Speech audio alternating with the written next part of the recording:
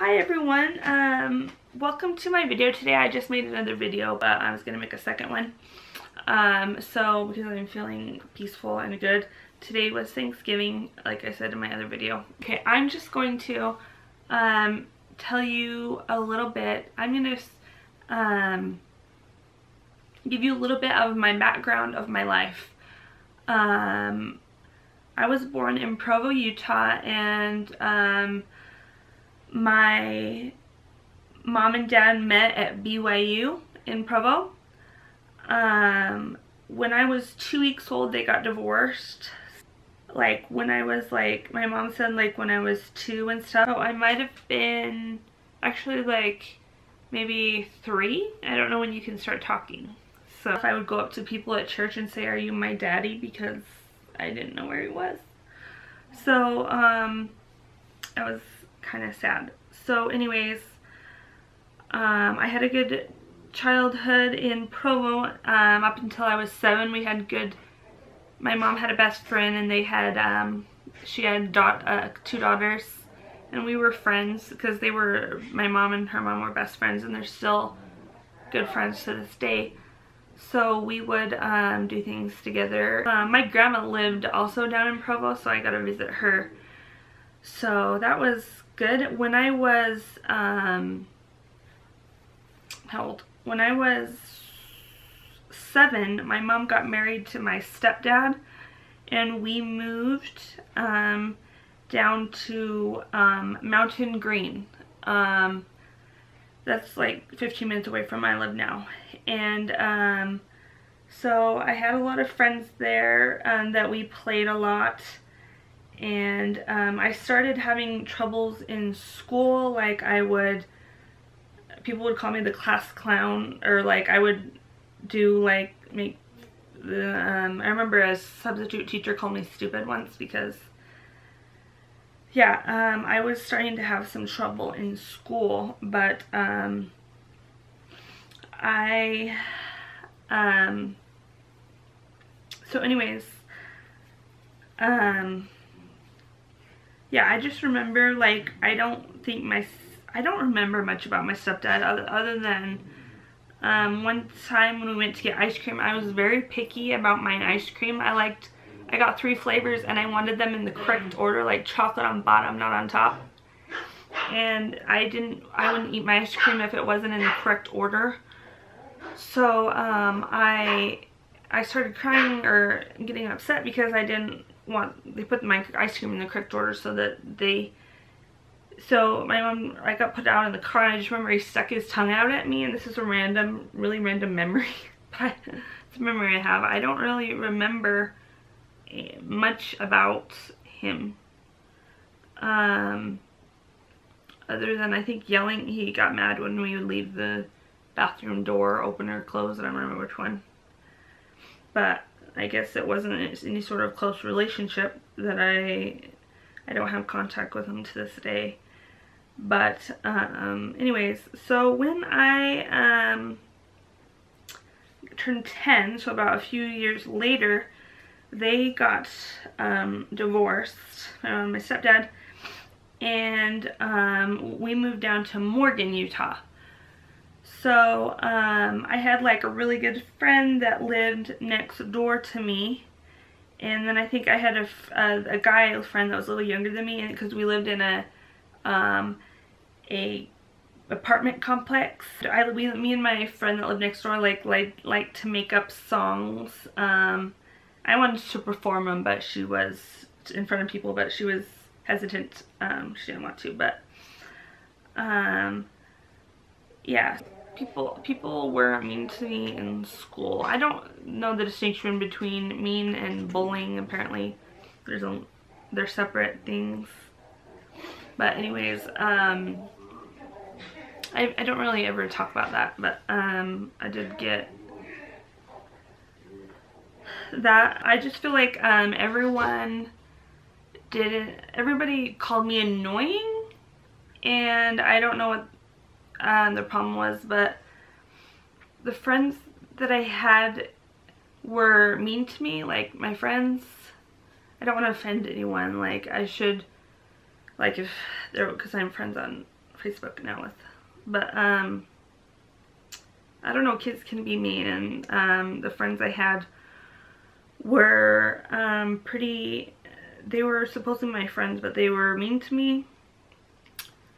Um, like, I just remember during lunch just leaving because, like, I was very, like, loving. Like, I would buy people things. Like, um, um, like at lunch, I remember I went to get, um, like, do you want, if they needed something, so I went to go get it, and then when I came back, they were, like, hiding part of my food. I know that sounds stupid right now, but I just remember that, and they were just mean to me, and I would just, I just ran and start crying. Um, but anyways, they would, like, they played a game, um, follow, get in a line and follow each other to the fence, and then they would ditch me um, I know it sounds stupid, but I mean, when you're a kid, things like that hurt you. Um, one girl said if I wanted to be her friend, I had to eat dirt. And I know it sounds stupid now, but um, I just, I was sensitive and it hurt me that people were not kind. I forgive these people and I don't want to be like focus on the past and what they and focus on that because I remember to this day this one girl that I was I said some mean things to and I regret it to this day and feel bad about doing that. So if I want her to forgive me, I need to forgive others, and I do forgive um, them. So I don't want to like focus on the past. So I was, when I was, so I lived in those apartments till I was like 12, 12, no, or 13. And then I moved to, in the same town to a house, which I lived into until I moved out on my own. So until I was 20. So I had a friend that lived across the fence from me. The, the really, the friend that I remember that was like actually nice to me, her name was Julie, we're friends on Facebook. But we got in a lot of trouble together, so I wasn't allowed to hang out with her because we got in a lot of trouble together. Oh, I'm so agitated now because my cat started licking out of his water bottle. Started licking out of his water. Um, I would visit and go up and visit my dad. Um, and like every, like I think summer and Christmas with my brother. And I just remember he was, he was nice and he liked to like talk and um, he likes to talk like we have like conversations intelligent conversations and he had two kitties named Kato and Taz. Um, and Taz was really, um, really fat, really fat. She was a tabby, and he called her little girl. Anyways, so we would go visit him. So, yeah, I just remember him always, he was always nice, and, but when I was 11, when I was 11, my brother was upset, and I'm not saying this is justified or this is not how I see things, but my brother was upset that my dad wouldn't initiate um, us going to see him.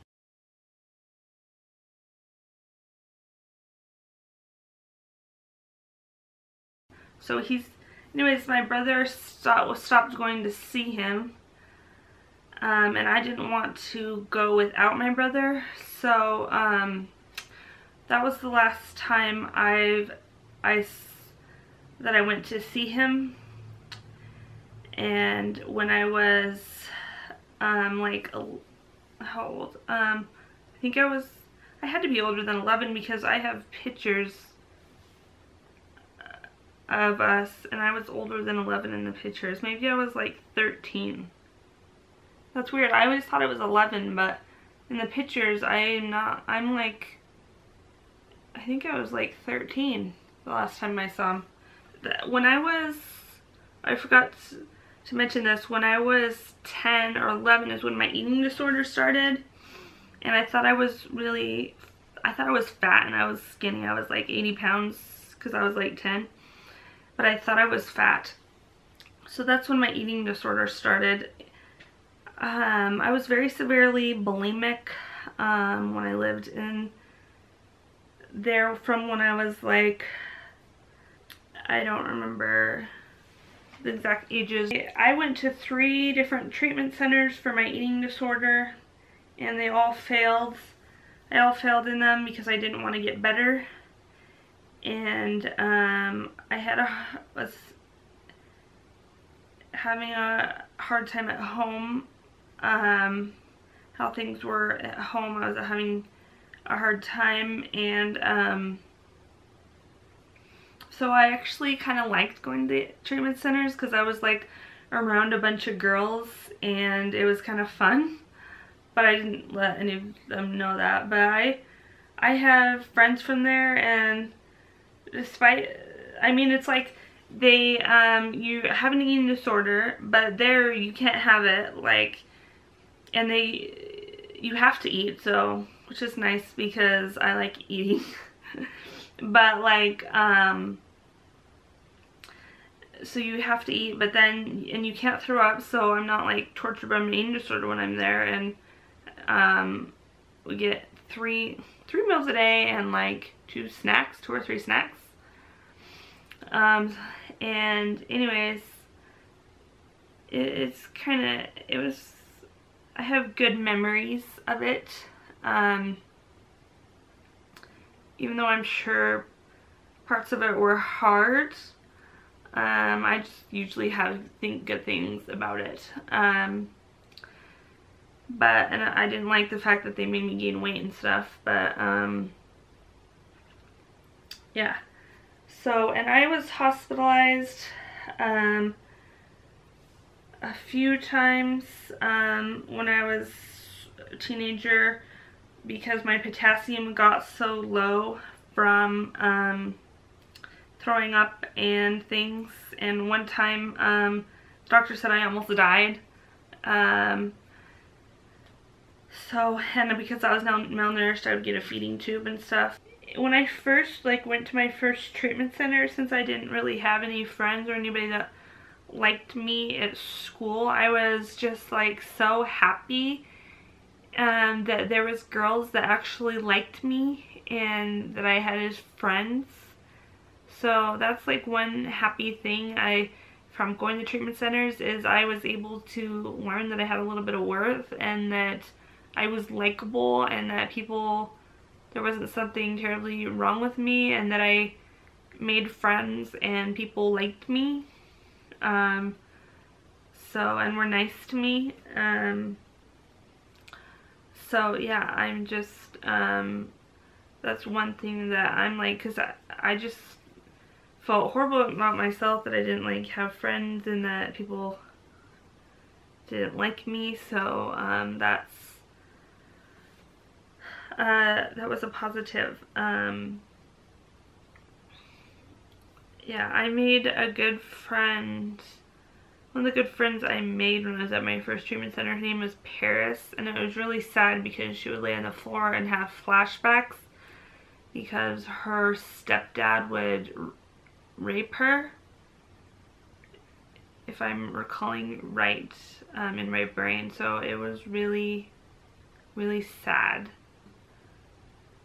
So anyways when I was 20 and I still had my eating disorder I moved out to this house this condo that I'm in right now on my own.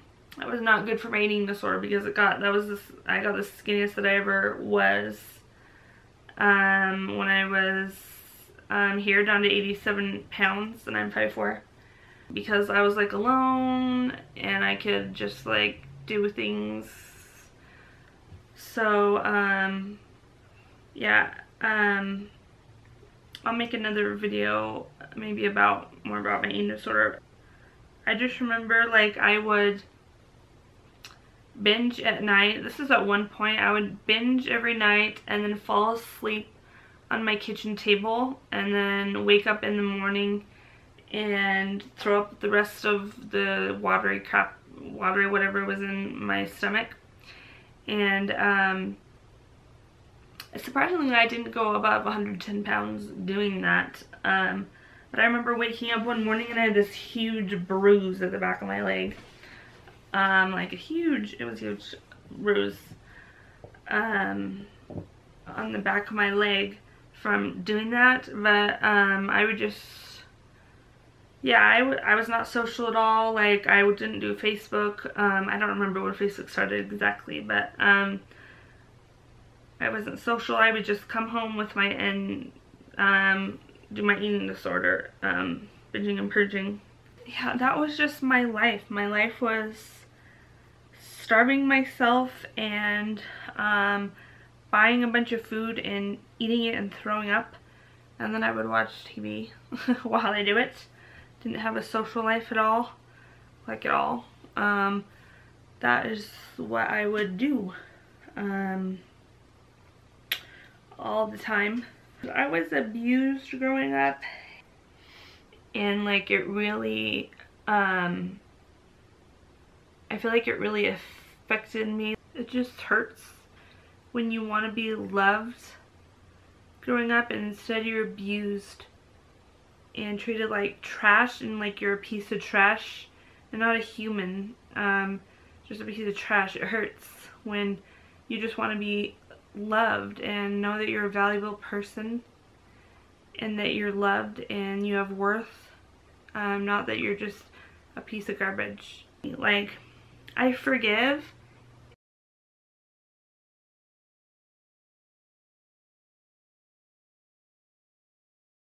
I actually um, didn't finish high school. I got, um, I started getting F's and everything.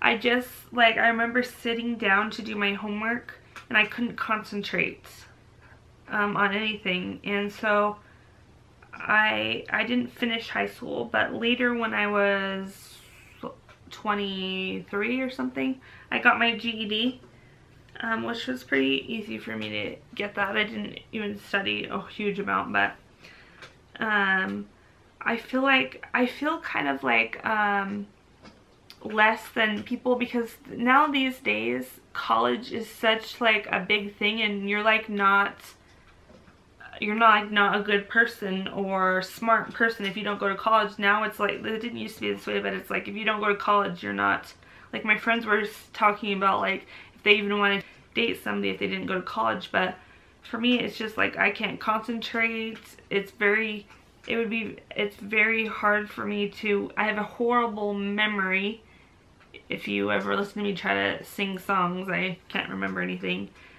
So, um, it's like I'm not less of a person because I didn't go to college, but I feel like that sometimes, like, that's how our society now, like, I know it's a great thing to go to college, but it's like, don't, like, look down on people if they don't, like, and say they're not good enough um, if they didn't go to college. Um,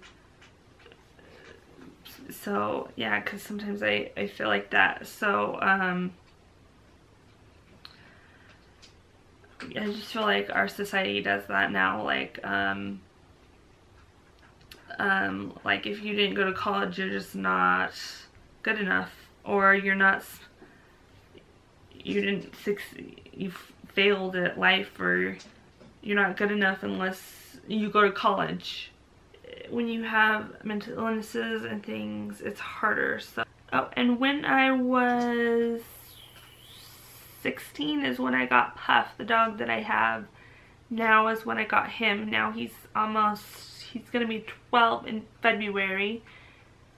So, um, yeah, I love him. Um, the pets that I had before that, I didn't, I had bunnies. Um, I had bunnies and a hamster growing up. Um, he was the first dog and he's mine, so um, he's a little white Maltese. Anyways, when I was 22 is when my schizophrenia started and bipolar. Um, and that's when everything um, went horrible. It's like the hardest, it was, it was oh, so horrible. Um, but then there were also really amazing parts of it, the good hallucinations. So that's when I went crazy um, when I was 22. And um, I have never I haven't talked about this in my other video, but um, one thing I was inspired to do, um, and I started going back to church because throughout, I, I was kind of inactive, like I didn't really I wasn't really real active in my church at all. So at this time I started praying again and going back to church and everything. And um, um, at one point I was inspired and I, uh, you know, and I saw it much differently with my dad. Like, I love him and I don't blame him like, um, say, oh, you never initiated um, calling me or anything throughout all these years because he probably just thought, you know, well, maybe they don't like me or just like, um, maybe like, you know, just thoughts like, um,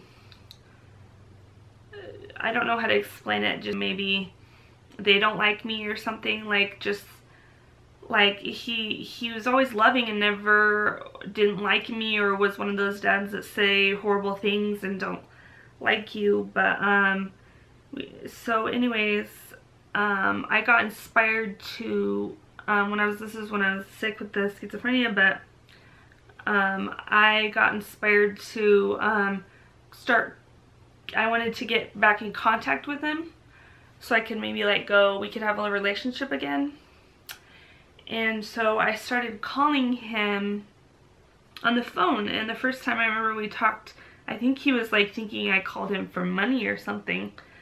Um, and I'm just like, no. And um, I just wanted to, you know, talk. So anyways, I called him and we talked. And there was stuff going on with my grandpa. Like, I think my grandpa had just died. My, his dad and my grandpa, because he had like a something wrong with his brain started bleeding. So we talked about that because apparently in the hospital they should have done something that they didn't do. So anyways, um, anyways, so we would talk and I was, I was thinking about going up there. He lives in um, Washington State. So, and I was thinking of going up there to see him, but I had gained weight from the antipsychotics that I've been on. Um, and so I didn't want him to see me like that, so I was going to wait until I lost some weight. But um, a few months after we'd been talking, we'd talk every once in a while, like in the, within this time that I started talking to him. Um, I just, I, str I called him and I kept calling him and he wouldn't pick up. And I told my mom, I'm like, I think there is something wrong because he's not picking up his phone and I just felt like something was wrong and she's like, oh no, he's fine. So then a little bit later, a week or so later, I come home to my mom sitting in my house, I believe, and she's like, um, your dad um, committed suicide. And I just started crying. Um, so I think it's not as hard on me. Uh, it's, it's not as hard as me given that we didn't have like a huge relationship all these years. It would be harder if we did have a bigger relationship. But I don't hold any anger towards him for that. Um, he had a lot of, I think, depression and um, he was in a lot of pain with his body and then his electricity just got shut off. He wrote this, he wrote that in his suicide note. Um, he, so I don't, you know, I just hope he's happy now and in a better place and I hope when in the next life, um, we can, I'll be able to see him again and we can hopefully be friends. Um, and um, so I love him and um, I don't hold any grudges or anything towards him and don't blame him like say it's your fault for not calling me when you know I could have called him. So and he it's not it's I'm not so I don't place blame on him anymore.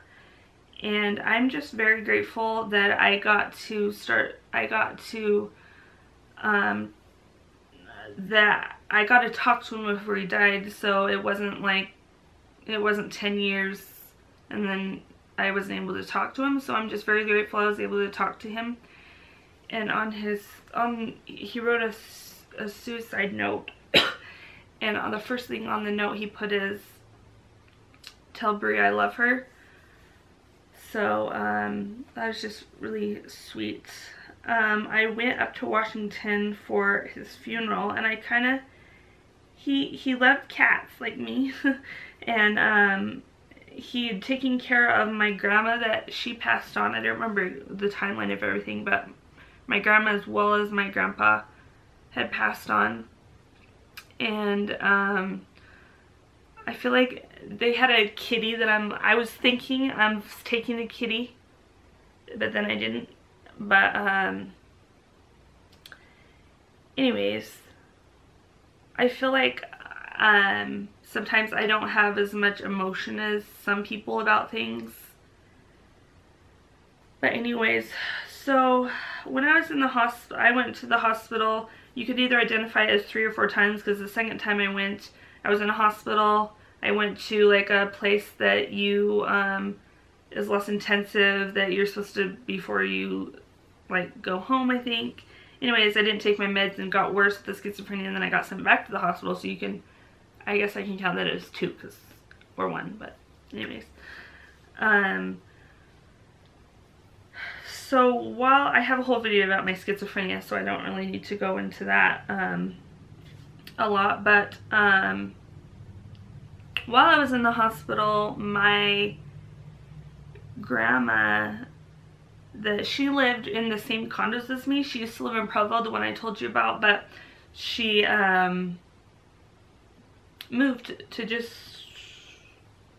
that way maybe in the same condos as me. And I would I would go and make her dinner and bring it over to her and um, things like that. Um, she was sweet. So but when I was in the hospital she passed away from I, I don't even know an aneurysm maybe um, in her stomach that burst so, but uh, my mom, they told, at the hospital, they told my mom not to tell me, so she didn't tell me till I get out. But like I said, I don't have, I don't know if it's I have a connection problem to people or something, but I, I didn't take it like, or I just, and I have faith that I'll see him again, or I just, I, um, I don't have like a huge reaction to when people die. I don't know what that is um, exactly.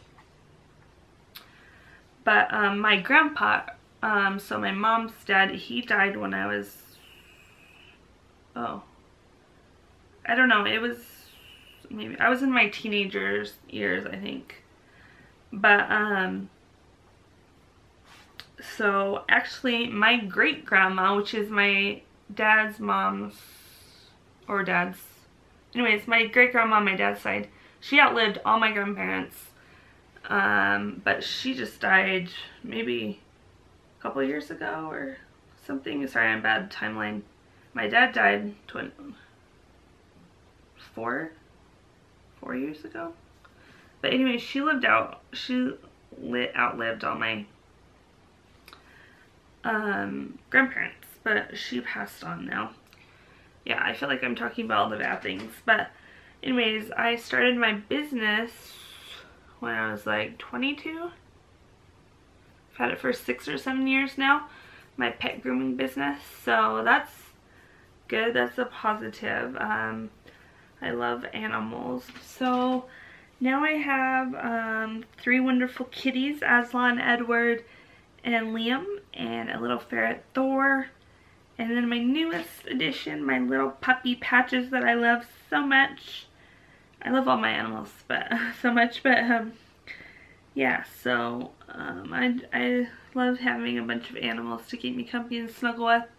And my dog, um, Puff, he's a good watchdog, so if anybody um, is outside or so if he hears anything um, he will um, bark to alert me so that's good. Now that I am steady on my medication I'm a lot hundred times better than I was when I had when I was off my medication. Even though I have stability problems still. Um, but um, I'm just grateful the meds work for me now. And I go to the temple and I go to church and I visit my family even though I have a hard time talking to people.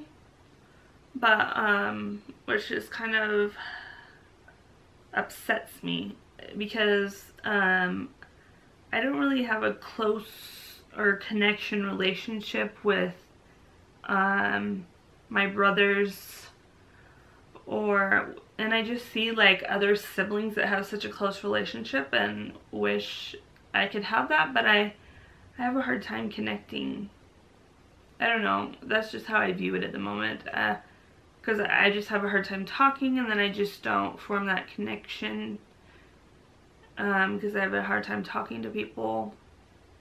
When me and my brother were little, we I believe I we had fun together, and I believe we had a more close relationship when we were like little kids, like when I was like five and he was eight.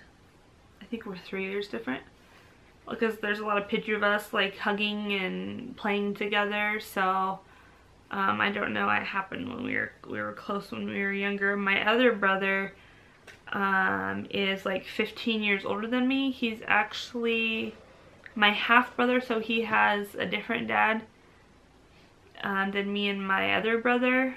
So um, yeah, that's why um, yeah, there's a big age gap there. But um, so um, he didn't really live at home with us um, that I can only when I was like really little so I don't remember that much hopefully maybe in the next life when I'm healed of everything I'll maybe be able to have a closer relationship with my family members closest one I am to is my mom um, but um, so now I've reconnected with a lot of people on Facebook that I went to treatment centers with.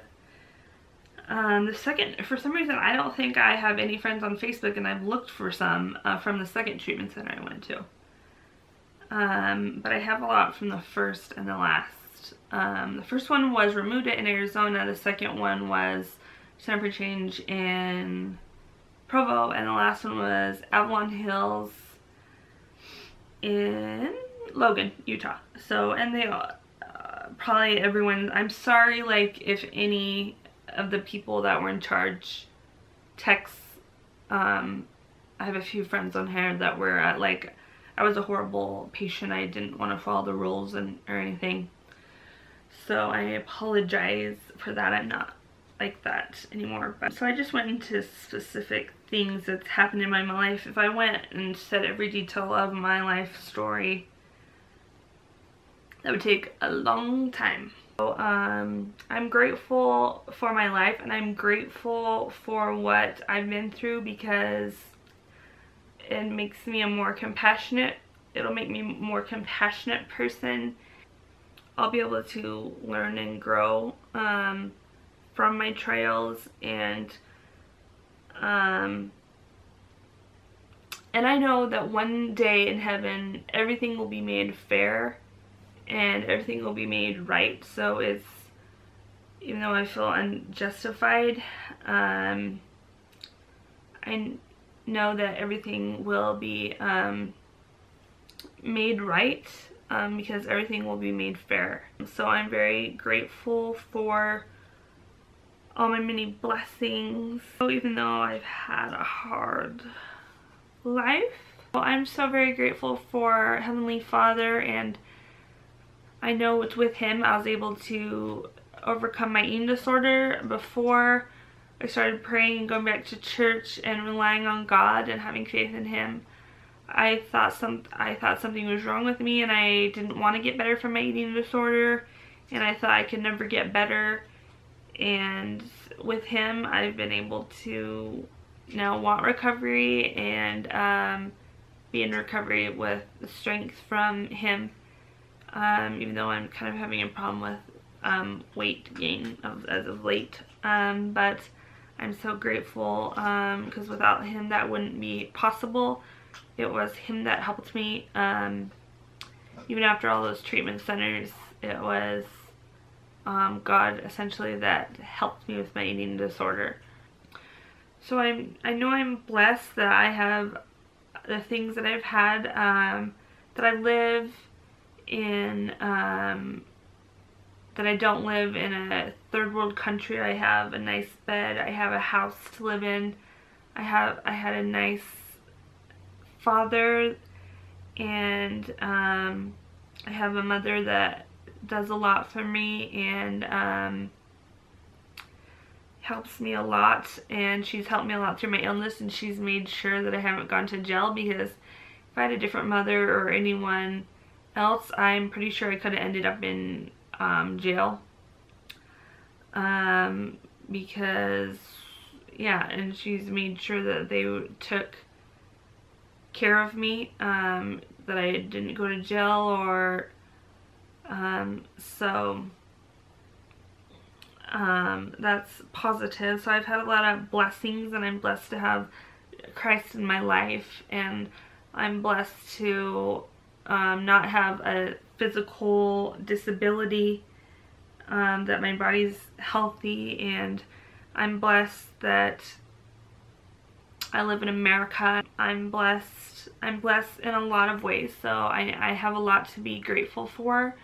Um, I'm blessed that I have a warm bed to sleep in and that I have a job that I can is so flexible and I can take off when I want and um, for just um, so I have a lot of blessings to be grateful for. Um, and um, I've had a lot of good things in my life as well. Sorry if I just talked about all the bad things. Um, I just talked about what is in my memory at the moment. Thank you all so much for listening to my life story, the thing, anyways, the parts of it that I told. Um, and thank you all so much for watching my videos and for liking and subscribing and if you haven't yet subscribed you can go ahead and do that and thank you all so much for um, watching my videos and for your kind comments and um, sometimes I have a hard time like giving when people ask me things or uh, hard giving, it's hard for me to give like really in-depth or answers. But I thank you all so much for the kind comments you give me. Um, so thank you all so much for watching and I love you all and God bless.